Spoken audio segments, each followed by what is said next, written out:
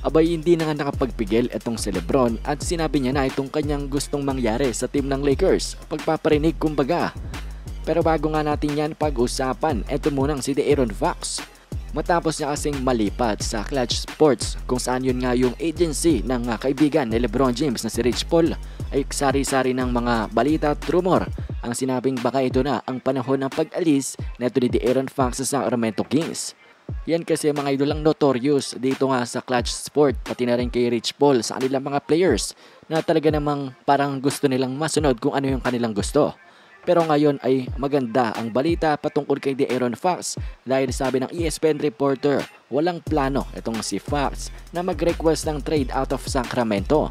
At ngayong nananalo pa nga sila above 500 team na itong Sacramento at napakasolid ng performance na ito ni De'Aaron Fox ay sa tingin ko wala ng rason para umalis pa siya. Nag-uumpisa na ang pag-angat ng Kings matapos nga ng kanilang halos lampas isang dekadang hindi pagpasok sa playoffs ay parang maliw na napapasok na sila ngayon. So I think magandang move na wag na umalis si De'Aaron Fox at talagang pangunahan niya na ang team ng Sacramento.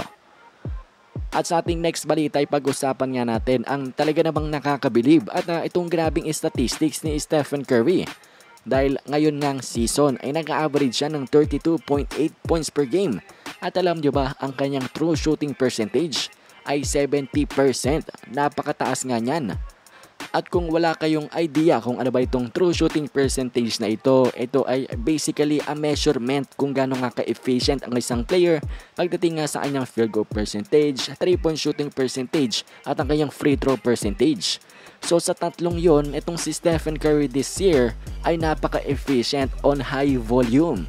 Ibig sabihin marami siyang shots pero napaka-efficient niya pa rin. Kaya naman unbelievable itong ginagawa ni Steph this year Kaso ang problema, hindi nga nagre-resulta sa panalo. Anyways, next balita naman natin ay ito na ngang pagpaparinig ni Lebron James. Ngayon kasi sa isang show niya kasama ang kanyang mga business partner at kaibigan ay kinover nila ang isang NFL game. At bigla na lang naglabas itong si Lebron James ng kanyang salobin. Sabi niya nga, it's a discredit when you got a transcendent franchise player. And why wouldn't you surround that when you got the picks to maximize what he can do? At sumagot nga ang kanyang isa sa mga partner dito sa show na ito. Sabi niya, football pa ba ang ating pinag-uusapan Lebron o basketball na? At sumagot naman dyan itong si Lebron at sinabi niya, oo naman, matatranslate naman ito sa basketball. So siguro naramdaman na rin itong kasama ni LBJ sa isang show na parang nagpaparinig na nga itong si Lebron sa Lakers. Kung baga kasi, ang parang pinapalabas neto ni LBJ ay bakit nga daw hindi mo isusurround ang isang transcendent franchise player na mga talents to maximize his skills kung meron ka namang picks para nga kumuha ng mga talented players na ito na makakatulong dito sa iyong transcendent franchise player.